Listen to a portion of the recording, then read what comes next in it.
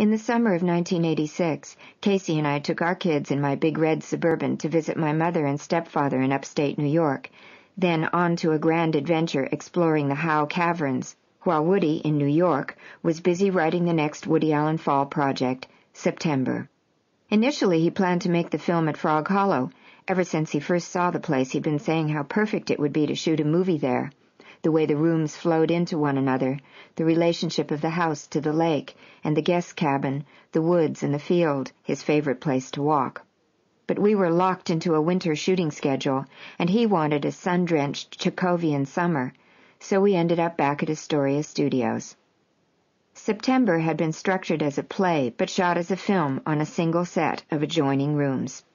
It explored the relationships of six characters in an isolated summer house, and the long-term traumatic effects of an incident that had long intrigued Woody, the killing of Lana Turner's lover by her teenage daughter. Strains of Chekhov's The Cherry Orchard can be traced throughout. The screenplay of September was ambitious and problematic, we reshot every single scene as we went along, sometimes four or five times. Woody rewrote major scenes overnight or during lunch while the cast scrambled to learn the rewrites and to make the long speeches and sometimes ponderous dialogue sound credible and fresh. Fine actors fell by the wayside, including my mother. Parts were recast. There was a shaky feeling in the air. I was relieved when my mother went back with her husband to the safety of their lives upstate. When finally the main shoot was over, Woody assembled the footage, looked at it, and threw out the entire thing. Within five weeks he had rewritten the script and we were back at Astoria, reshooting the film with a different cast. As usual, I brought Dylan to work, and her crib and toys filled my dressing room. She was now an active toddler who made full use of the long studio hallways. At eighteen months she could sing a dozen songs and speak her mind clearly. She loved being read to, and she could identify all the letters of the alphabet. At home and at work she was doted on, and to everyone's astonishment, no one was more doting than Woody Allen. Woody's parents, the senior Konigsbergs, wintered in Florida, but when they were in New York, we dropped by to see them with some of the children every few weeks or so in a ritual that did not vary. Woody would ring their doorbell, then cover the peephole. They always opened it anyway.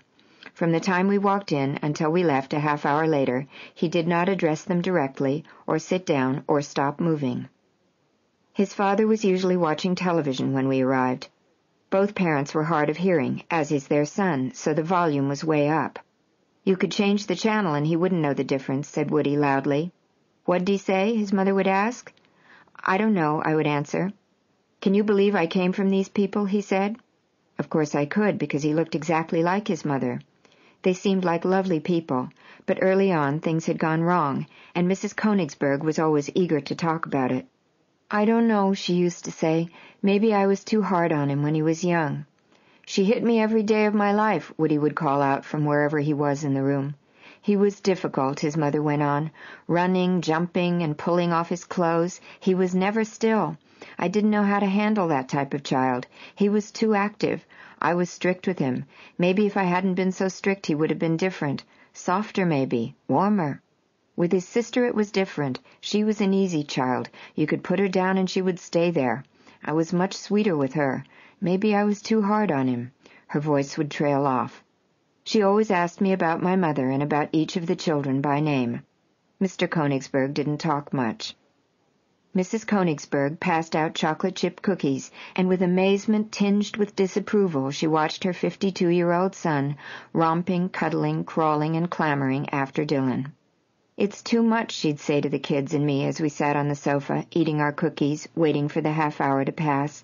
It's not good for her. Twist her nose off, Woody would order Dylan. She's the wicked witch. Go on, twist it off. What'd he say? his mother would ask. Nothing, I'd shake my head. Dylan, why don't you come over here and have one of these good cookies? Everybody careful, don't get chocolate on this white couch. Woody's response to Dylan was more than I'd ever imagined. In truth, it was much more than I had seen in any father toward a child in my whole life, and I'd been married to an Italian, a passionate, emotional guy who was nuts about his daughters, and to Andre, who, when he was there, was an affectionate and demonstrative father.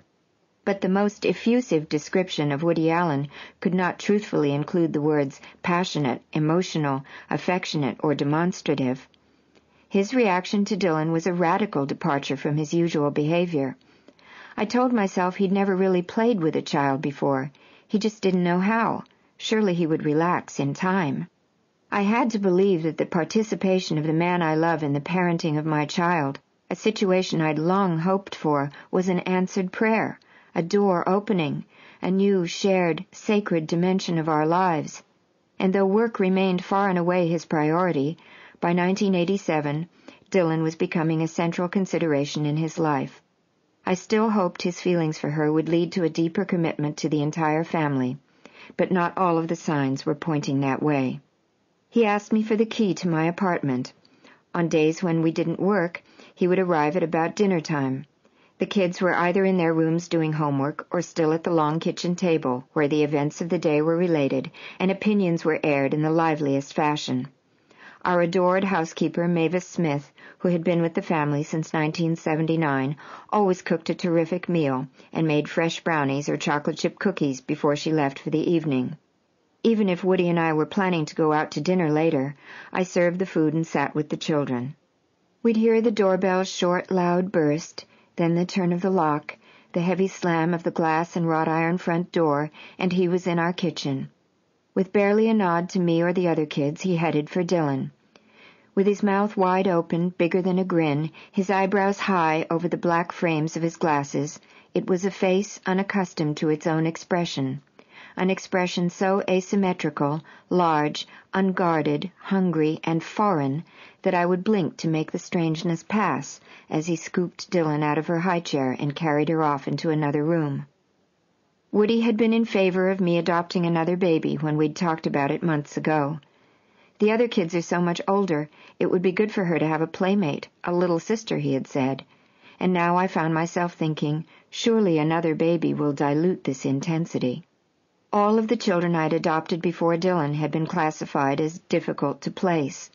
With my fingers crossed, I showed Woody pictures of little girls in the United States and other parts of the world who were no longer babies or who had disabilities.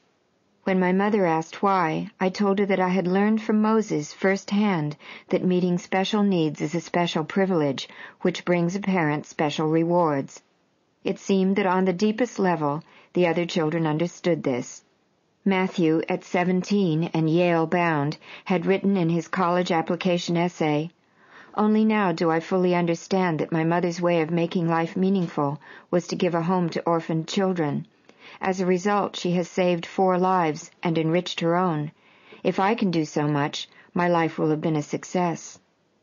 Woody hadn't been open to the idea before, but now he didn't rule out the possibility, so long as it was a girl. We would see. Dylan wasn't yet two. We were still slogging away on September when I learned I was pregnant.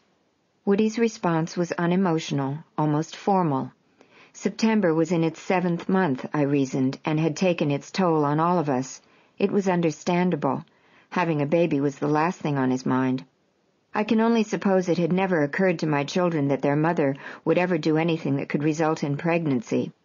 It was an adjustment for all of them, and they seemed a little stunned at first, particularly Soon-Yi, whose dislike for Woody had always been palpable. Because she had arrived in our family just as Andre was leaving it, I worried that she had lacked a positive male role model in her life. So when she was little, I asked Woody several times if he would take her for a walk, buy her an ice cream or something, but he had declined. Now, when I told her I was pregnant, she burst into angry, uncomprehending tears. She didn't like Woody, she said. He was nasty and ugly, and the baby would be ugly like him. I held her and tried to reassure her. My own reaction was more surprising. I'd given up thinking it was possible for Woody and me to have a child. My first elation turned to worry. Woody's lack of enthusiasm was depressing. I felt shut out. It made me wonder where I stood. I began to take stock, to clarify the way I wished things were for this coming child and for all my children, and for me. I had begun to feel that his behavior with Dylan was strange, and it was not easing off, it was growing more extreme. But when I tried to talk to him about it, he got so angry. He had grown remote since our first years together, and cruel, Not all the time, but so often he made me feel stupid and worthless. We were in each other's company constantly, but I no longer felt needed or loved. I did love him, but for the first time I admitted I was afraid of him. I felt I should end the relationship, but I didn't know if I'd be able to do that. Emotionally, I was dependent on him, and the possibility that he would not want to work with me any more was frightening. I seemed to have lost whatever definition I once had of myself as an independent working woman, and in the process I had also lost confidence in my ability to survive without him. Perhaps the new life inside me gave me the strength to tell him that the relationship as it existed was unacceptable. The conversation took place first thing in the morning. Standing face to face in his dressing room at Astoria Studios, I told him everything I felt. He was surprised and angry. Finally I said that I couldn't continue, and that I needed some distance from him. But he didn't go away. He would not go. It was so strange. September ended, and he kept right on coming over to my apartment every single day. He started showing up at 5.30 and 6 in the morning. He'd be sitting in my kitchen, hours before anybody was up. He came to Frog Hollow, too, even overnight. I didn't know what to do. We politely ignored each other while he followed Dylan around, and then, after some weeks of this, I lost my resolve. The line blurred, and we were together again. I needed him, and I loved him. We went on a trip together that same summer of 1987. It was the first time we'd brought all the children to Europe. I was no longer throwing up, and I felt fine. It was the celebration of our new beginning. Woody is a restless traveler, so we kept moving. Paris, Stockholm, Helsinki, Venice, London, Luxembourg. We were averaging almost a country a day. We drove in a van and a limo six or seven hours at a stretch. We were driven from Paris to Mont Saint Michel, which had probably been a tourist trap since the Middle Ages, only nobody told us. Woody took one look, checked the rooms, ate an omelette, and we drove all the way back. We would have stayed overnight, but there was something wrong with the bathroom. Parisians are a lot nicer if you're with Woody Allen. His efficient assistant Jane was there, ensuring things went without a hitch. During the day, while the kids and I goofed around in the hotel suite or went sightseeing, Woody would write in the separate room he kept for that purpose, and for the bathroom.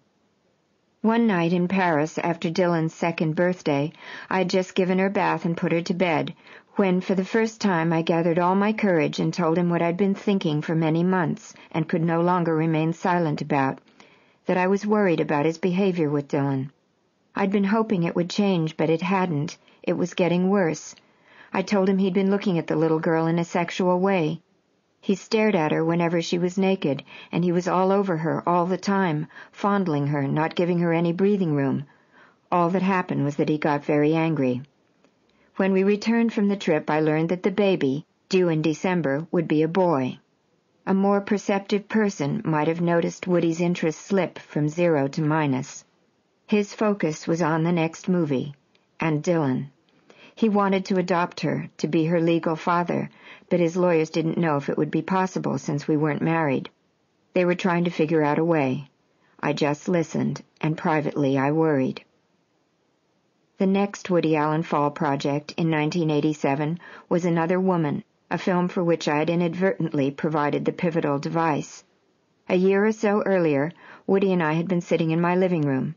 I was staring at the fireplace, thinking about how fascinating apartment buildings are. People living their separate lives, inches apart from one another. In fact, just on the other side of my own living room wall, a renowned therapist conducted her sessions. Some of her patients were acquaintances of ours, including Woody's agent. We used to see them in the hallway, coming and going. Wouldn't it be so cool to get one of those spy listening devices, I said to Woody. We could hear what they're saying through the wall. Would you want to define yourself as a person who would do that? he asked. God, no, absolutely not, just joking. I felt like a worm. My unworthy thought was somewhat redeemed.